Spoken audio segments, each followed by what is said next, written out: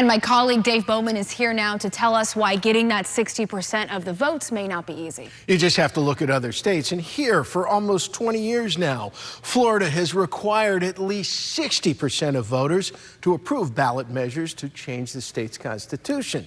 Most states require just a simple majority. And when it comes to the issues of easing abortion restrictions and legalizing marijuana, a lot of state ballot measures got more than 50% of the vote, but very few got 60%. Since the U.S. Supreme Court overturned Roe v. Wade, voters in six states approved measures that would loosen abortion restrictions. But if these states had Florida's supermajority rule, these measures would not pass in four of those states. 16 states and the District of Columbia have voted on proposals to legalize marijuana for recreational use.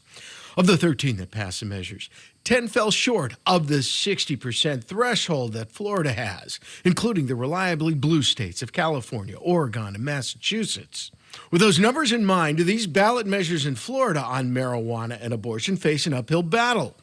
Really, it's going to be about the framing. And we already see that Governor DeSantis is framing these two measures as extreme.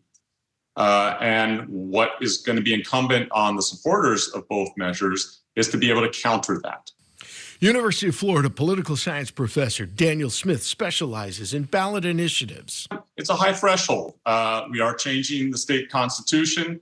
Uh, many would argue that that makes sense that we would have a supermajority, but it's no uh, piece of cake, that's for sure. Public opinion on ballot initiatives can change quickly.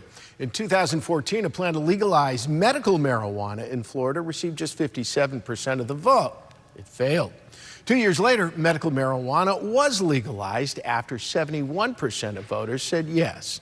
Shannon, back to you. Dave Bowman, speaking of that, the Florida Chamber of Commerce has come out against legalizing marijuana for recreational use. The Chamber's own poll shows 57% of Florida voters approve. That is, of course, below that 60% threshold you've heard Dave and others talk about. The Chamber's president predicts support will dwindle when people consider legalized pot's impact on children and businesses.